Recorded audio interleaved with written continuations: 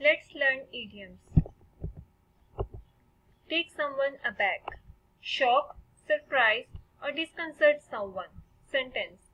They were taken aback by the shabbiness of the hotel and lack of cleanliness in the city generally. Heaven is up your sleeve. To have a secret plan, idea, or advantage that can be utilized if and when it is required. Sentence.